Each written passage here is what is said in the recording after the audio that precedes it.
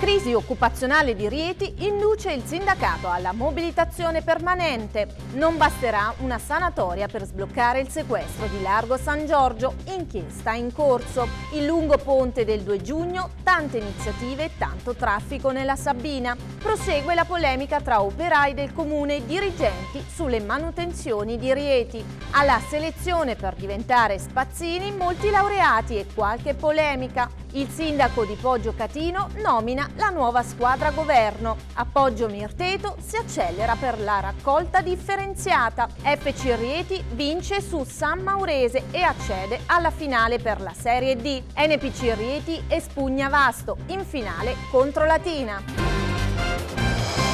Buonasera e bentornati a una nuova edizione del TG di Sabinia Silver TV. In apertura parliamo del ponte del primo e del 2 giugno. Grande traffico registrato sulla Salaria per Roma per il primo ponte estivo che ha riversato tante autovetture sia in entrata che in uscita da Rieti. Una Salaria che si dimostra ancora una volta un'arteria insufficiente e che ripropone il problema di macchine e mezzi incolonnati che procedono a passo d'uomo. Molte le famiglie che hanno deciso di spostarsi verso il Mar Tirreno, ma anche molti romani che hanno deciso di trascorrere questo weekend nella campagna del capoluogo Sabino, tra agriturismi e passeggiate in mezzo alla natura.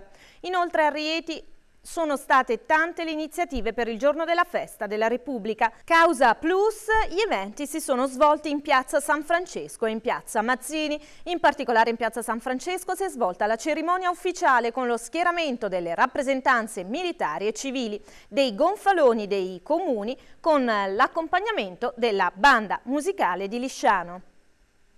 È stata bocciata la sanatoria delle officine Varrone di Rieti. La commissione edilizia ha respinto la domanda che riguardava l'ex chiesa San Giorgio. Sentiamo. Non soltanto la Procura della Repubblica, ma anche gli uffici tecnici del Comune di Rieti a questo punto bocciano il complesso della Fondazione Varrone. Respinta infatti dalla Commissione Edilizia Comunale la richiesta di sanatoria delle irregolarità edilizie dell'ex Chiesa di San Giorgio, facente parte del polo culturale delle officine. Sarà necessario a questo punto un piano di recupero. Infatti, secondo le regole del nuovo piano regolatore, non è omesso per gli edifici di categoria A2, quali quelli del polo culturale, culturale la ristrutturazione edilizia senza questo piano. Anche il genio civile ha respinto la richiesta di rilascio del nulla osta antisismico e ha chiesto un nuovo progetto perché, trattandosi di locali pubblici, è necessario procedere ad una verifica strutturale. Un piano di recupero dunque sarà ciò che la Fondazione dovrà presentare per risistemare le sorti di uno spazio culturale che sicuramente aveva entusiasmato i cittadini del capoluogo Sabino. E sale purtroppo la percentuale degli under 35 disoccupati nel centro Italia. Lo fa sapere un rapporto Istat. I sindacati della città di Rieti si mobilitano. Sentiamo il servizio. I sindacati della provincia di Rieti stanno pensando ad uno sciopero generale. L'ipotesi è stata lanciata nel corso di Mareate Rock Fest sabato 31 maggio, la manifestazione dedicata alla musica e al lavoro. Ipotesi di sciopero lanciata dal sindacalista della Will Paolucci e già approvata anche da Palmerini dell'UGL.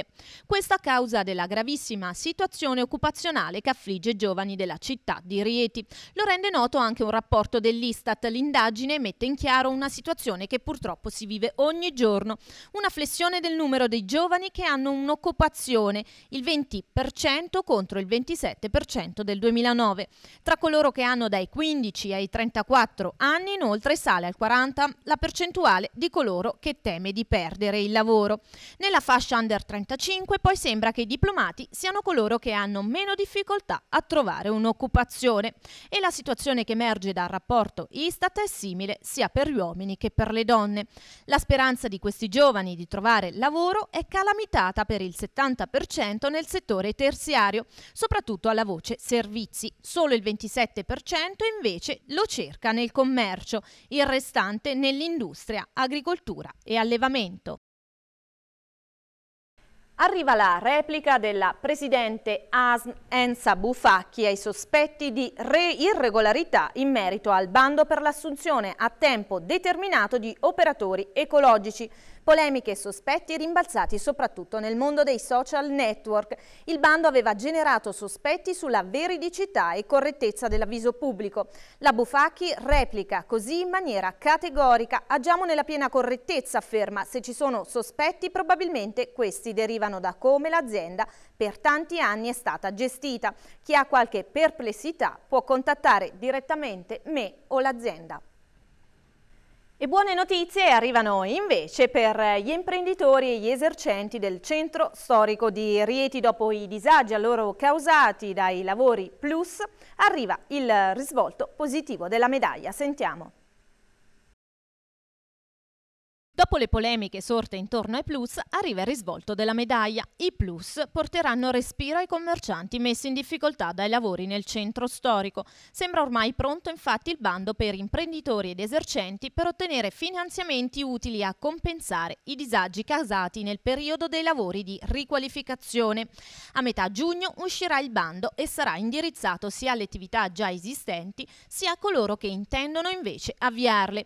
È stato già stabilito l'ammontare complessivo finanziabile per ogni attività. Si tratta di 25.000 euro a esercizio commerciale a fondo perduto ed è stata delimitata la zona di intervento. Si tratta della zona che va dalle mura medievali al fiume Velino. Il finanziamento potrà essere usufruito per l'adeguamento strutturale degli immobili, il rinnovo degli arredamenti, l'acquisto di macchinari o l'installazione di telecamere di sicurezza.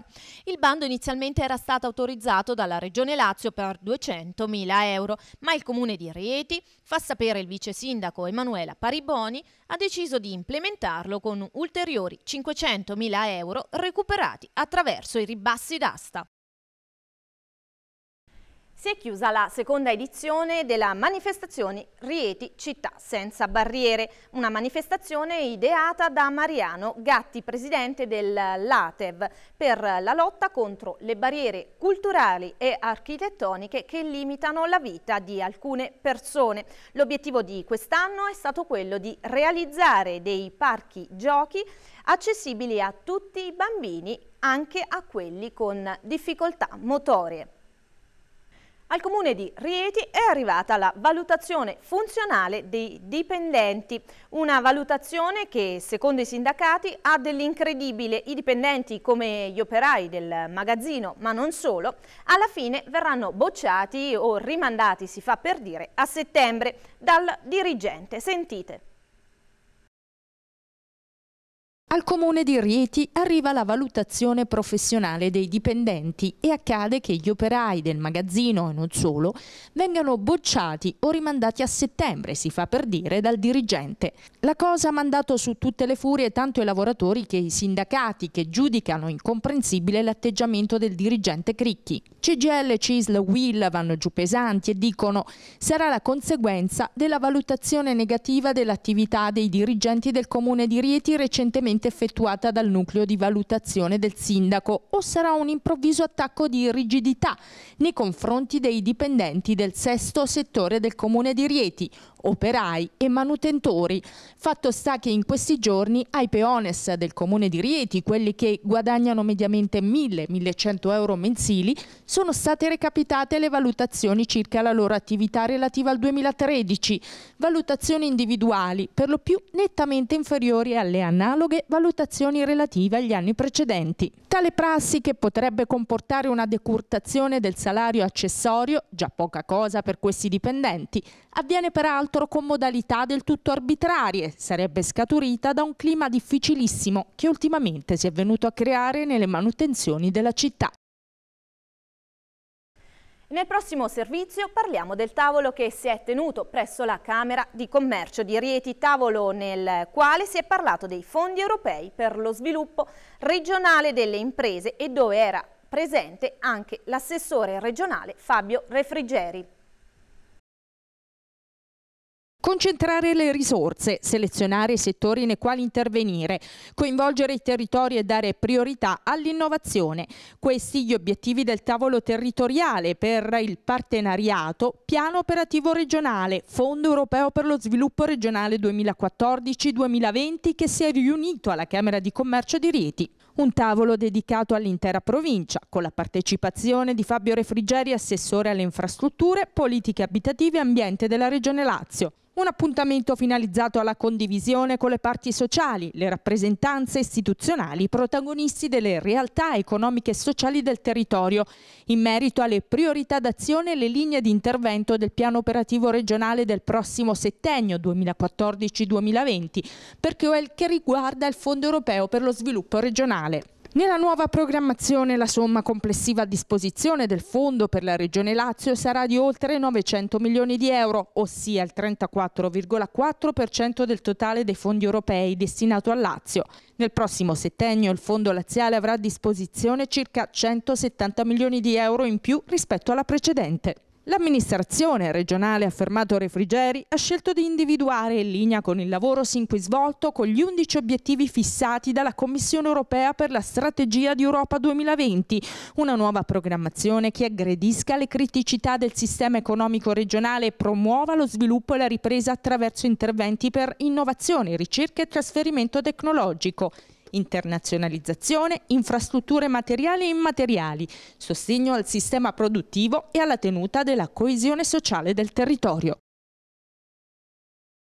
La lotta al fumo purtroppo continua a essere un argomento di estrema attualità. La sezione di Rieti della LILT, la Lega Italiana per la lotta contro i tumori, ha partecipato alla giornata mondiale contro il fumo, distribuendo materiale di propaganda contro la diffusione delle, delle sigarette. Inoltre la Lega fa sapere che mette a disposizione dei cittadini, per chi vuole uscire da questa dipendenza del fumo, del personale. Ci spostiamo ora a Poggio Catino dove il sindaco Roberto Sturba, sindaco uscente e riconfermato alla carica di primo cittadino con l'80% dei voti, annuncia le prime nomine all'interno della sua squadra. Mario Simonetti sarà il vice sindaco. Assessore all'urbanistica e ai lavori pubblici sarà invece Walter Ferzi. A Poggio Mirteto e in tutti i municipi dell'Unione dei Comuni della Bassa Sabina è tutto pronto per far partire la raccolta differenziata porta a porta. Lo rende noto la GEA SRL, la società che gestirà il servizio. Dopo mesi di gestazione, i primi due comuni a partire saranno Tarano e Cantalupo, a seguire Forano e Stimigliano, poi sarà la volta di Poggio Mirteto. I cittadini dovranno separare i rifiuti secondo le categorie più note, organico, carta, plastica, vetro e alluminio. Il personale della GEA passerà a ritirarlo porta a porta con la conseguente eliminazione dei cassonetti sul territorio. La GEA fa sapere che chi è ancora sprovvisto del materiale necessario può recarsi nella sede della società in località Capacqua a ritirarlo. E a Fiano Romano i residenti vivranno due giorni di grandi disagi dalle ore 20 di martedì alle ore 18 di mercoledì 4 giugno. Infatti sarà sospeso il flusso d'acqua verso le abitazioni per lavori urgenti di manutenzione alla rete idrica. Bene, ci fermiamo qualche istante per la pubblicità e torniamo subito dopo con la pagina sportiva.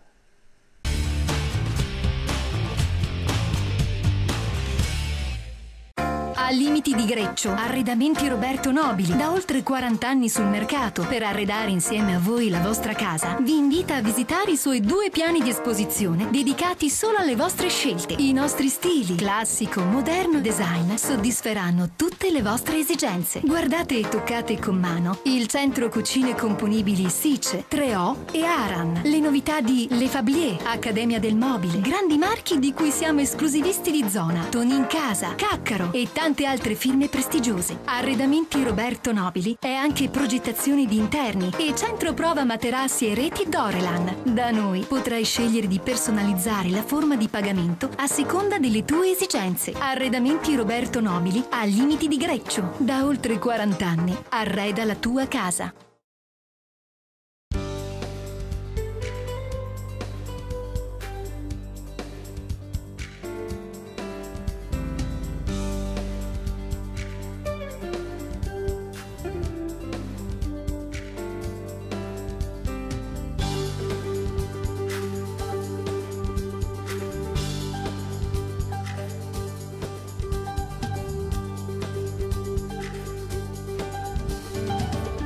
Cronaca di Rieti, quello che non scrivono gli altri giornali. A un passo dal centro storico, Gran Caffè La Lira di Zamporlini, un posto dove incontrarsi sarà un piacere, caffetteria, gastronomia, aperitivi e nel fine settimana happy hour. Gran Caffè La Lira ti aspetta per offrirti il meglio. Piazza Cavour, Rieti Centro.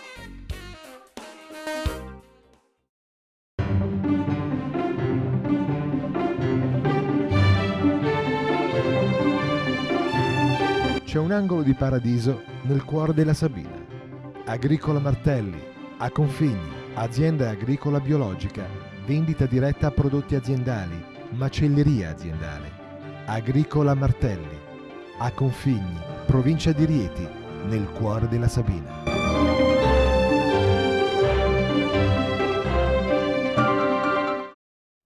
E trenta. ISE, Red, ICRIC non rischiare. Scegli la competenza. Scegli CAF CNA. Efficiente, fidato, sempre aggiornato per compilare al meglio anche le richieste per l'esenzione ticket o il bonus energia. Benvenuti in CAF CNA. Sempre al tuo fianco con competenza e professionalità. CAF CNA. Nel tuo interesse. Sicuro.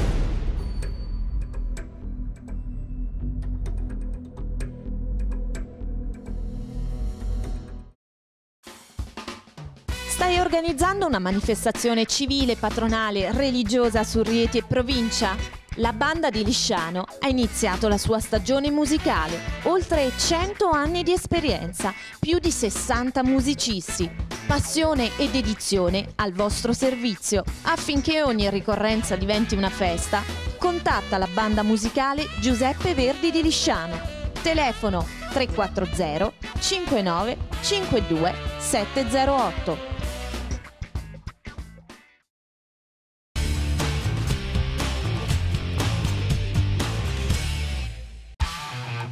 Per la tua pubblicità su Sabinia Silver TV contattaci al 329 49 56 879 oppure elismas 76 chiocciolaiau.it Rientriamo con eh, lo sport e ci occupiamo subito di calcio. FC Rieti ci dà delle belle notizie. Vince infatti domenica scorsa 1-0 con la San Maurese e conquista la finale dei playoff per la conquista della Serie D. Sentiamo. È stata un'impresa quella che il Rieti Calcio ha messo a segno domenica in terra romagnola, vincendo 1-0 in casa della San Maurese nel ritorno della finale playoff. Rieti dapprima è passato in vantaggio sul finire del primo tempo con un gol realizzato da Cardillo.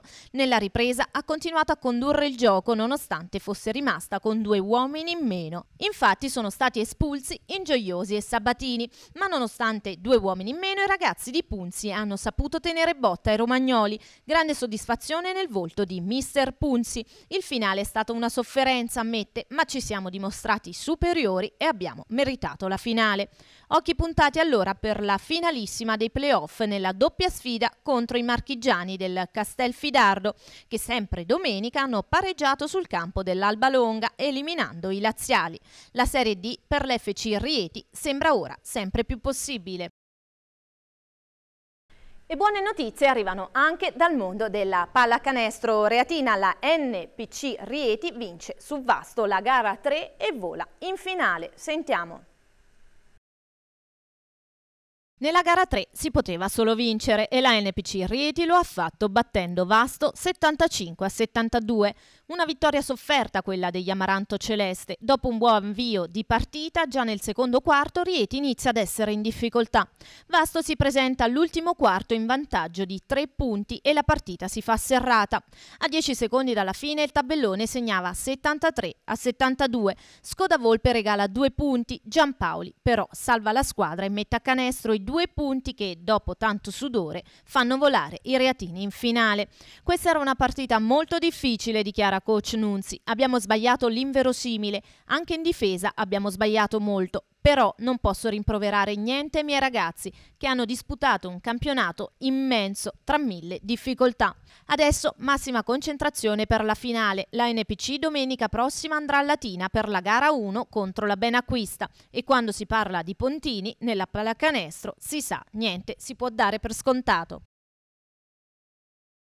Conclusa con successo eh, l'edizione eh, 2014 del Trofeo Leoni, la corsa ciclistica riservata alla categoria Under 23. Nicola Gaffurini vince in volata la gara precedendo Simone Sterpini, Ivan Martinelli e il reatino originario di Forano Marco Bernardinetti che ha chiuso al quarto posto. Per ampliamento dell'azienda, Sabinia Silver TV ricerca personale da impiegare nel settore commerciale. Chiunque fosse interessato può contattarci telefonicamente al 337 10 50 204 o scriverci una mail all'indirizzo elismas76 yahoo.it. Bene, il TG di Sabinia Silver TV termina qui. Io vi auguro un buon proseguimento di serata. Arrivederci.